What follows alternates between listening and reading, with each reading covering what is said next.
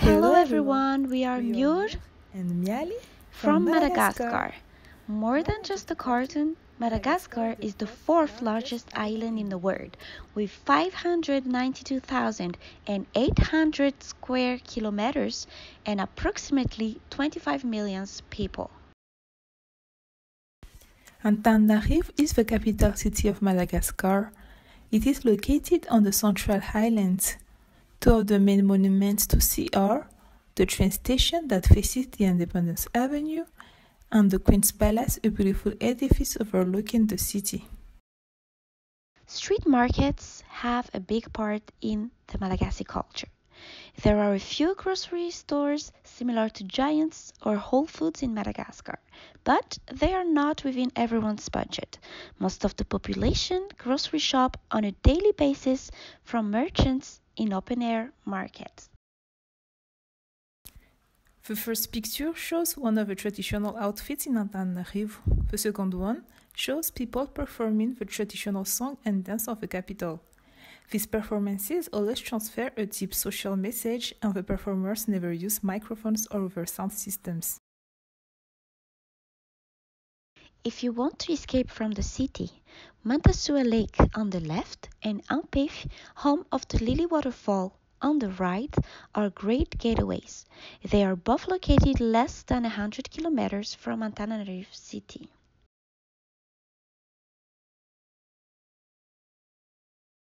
Rice is the main food in Madagascar.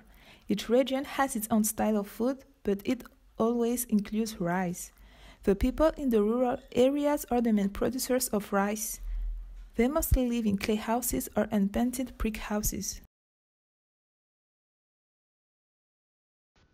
The east coast of Madagascar is the only part of the island that still has a tropical forest. Ranomafana Park contains endemic flora and fauna for the adventurous to discover. Ranomafana also has a thermal source and pool which can treat many diseases. FCE or Fianarantsoa Côte Est, meaning East Coast, is one of the two remaining rail networks in Madagascar. Riding the FCE trains provides a great opportunity of sightseeing of the beautiful landscape of the east coast of Madagascar.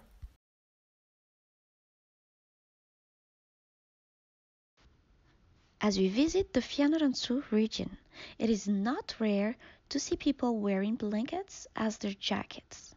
The weather is chilly all year round, and people just get used to walking around with their blankets to make sure they don't get cold. On the way to the south of Madagascar, we drive by Isalo. On the main road, all you can see are rocky mountains and dry lands or dry grass. But if we go visit the natural reserves, behind the mountains, we can enjoy beautiful walks of nature, such as the natural pool in the picture. The south of Madagascar is the driest area of the island. It only rains twice a year in some cities. The baobabs are gigantic trees that can survive in this dry climate. This picture shows the Baobab Avenue, a must see if you travel to Madagascar. The Tsingy of Bemaraha, also called the Forest zone, is a natural geological formation.